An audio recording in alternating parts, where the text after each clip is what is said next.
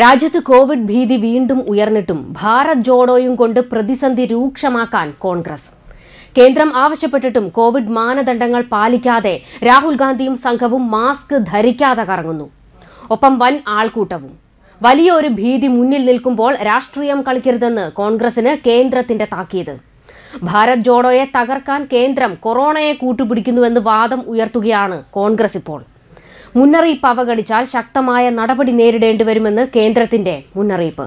ചൈനയിലും അമേരിക്കയിലും ഉൾപ്പെടെ ലോകരാജ്യങ്ങളിൽ ഒമിക്രോൺ ബി എഫ് സെവൻ വകഭേദം പടർന്നു പിടിക്കുന്ന പശ്ചാത്തലത്തിൽ കോവിഡ് മാനദണ്ഡം ശക്തമായി പാലിച്ച് മാത്രമേ ഭാരത് ജോഡോ യാത്ര നടത്താവൂ എന്ന കേന്ദ്ര നിർദ്ദേശത്തെ പൂർണമായി തള്ളിക്കളഞ്ഞിരിക്കുകയാണ് രാഹുൽ ഗാന്ധി.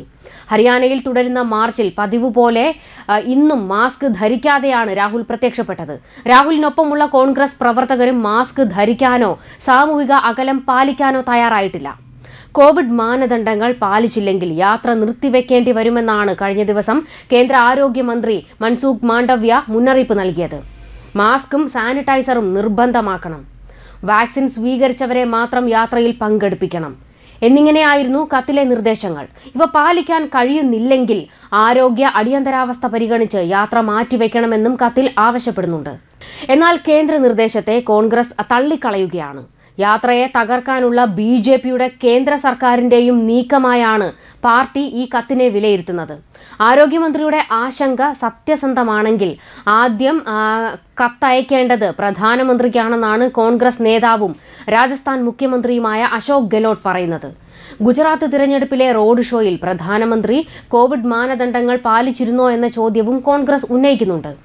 പാർലമെന്റ് സമ്മേളനം പോലും കോവിഡ് മാനദണ്ഡങ്ങൾ ഇല്ലാതെയാണ് നടക്കുന്നതെന്നും പാർട്ടി ചൂണ്ടിക്കാട്ടുന്നു. ജോഡോ യാത്രയ്ക്കെതിരായ കേന്ദ്ര നീക്കത്തിനെതിരെ പ്രതിഷേധം ശക്തിപ്പെടുത്താനും കോൺഗ്രസ് തീരുമാനിച്ചിരിക്കുകയാണ്. ഇതിന്റെ ഭാഗമെന്നോണം വിഷയം ഇന്ന് പാർലമെന്റിലും ഉന്നയിക്കും. യു എസിൽ നിന്ന് ഗുജറാത്തിലെ വഡോദരയിലെത്തിയ ഇന്ത്യൻ വംശജ.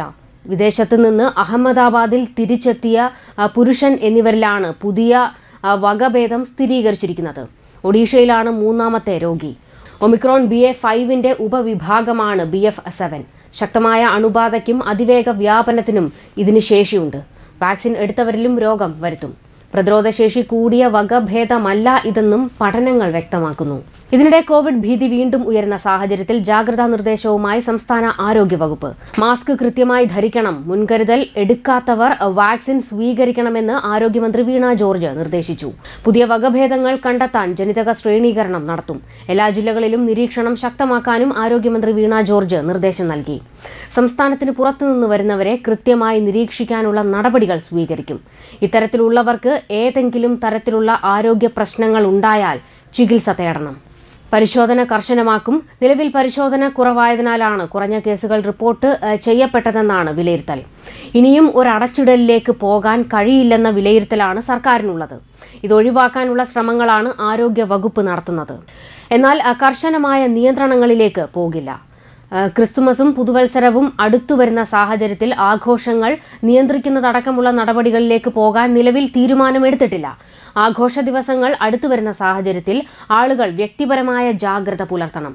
പുതിയ വകഭേദം കണ്ടെത്താൻ ജനിതക ശ്രേണീകരണം നടത്താനുള്ള നിർദ്ദേശം നൽകിയിട്ടുണ്ട്. ആരോഗ്യമന്ത്രി മാധ്യമങ്ങളോട് പറഞ്ഞു.